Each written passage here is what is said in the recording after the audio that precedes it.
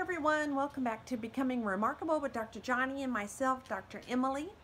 So, I wanted to talk about sleep.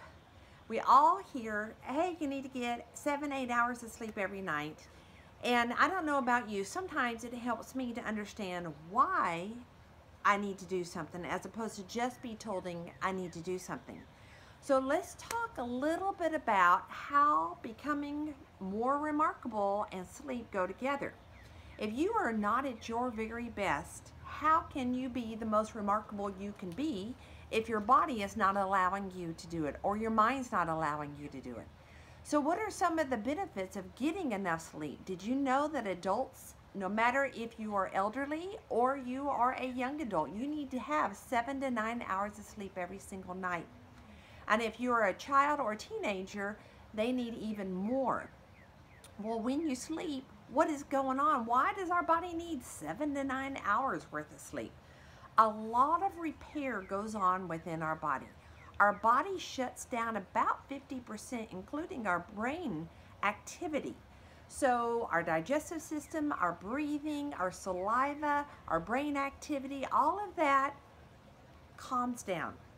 And while it's calmed down, our body is secreting hormones and is getting things back balanced. It's repairing broken cells. It's mending tissue. It is rebuilding and um, filling up our mind with preparation for the next day. When we get enough sleep, we become more creative. We're able to be more productive during the day.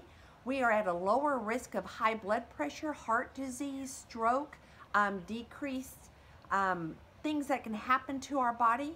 There's also been studies have shown that decrease of risk of cancer of having enough sleep. What also happens? We are in a better mood. Our skin also has the ability to clear up and to repair itself. I can keep going on and on down the list of our physical abilities, but also just being in a better mood being able to cope with what's all ha happening during the day, whether it's positives or things that you were surprised about that you can maybe even plump, plump into a negative pile. It helps you be better.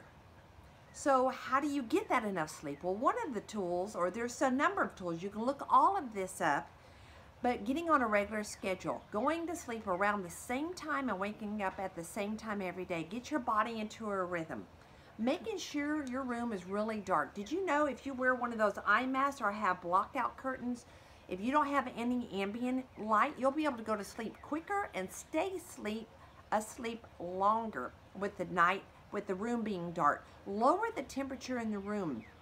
That also helps you stay asleep longer and um, continue to sleep and go to sleep quicker. The other thing is watch your caffeine intake. Let's go with no caffeine at least four hours before you go to sleep.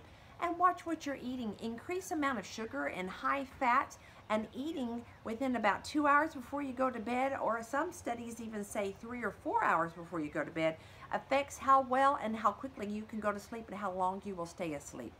So guys, let's, let's get on a rhythm this week. Let's look at that importance of sleep and become the best you can be by being in the most remarkable always. Have a blessed day and a blessed week ahead.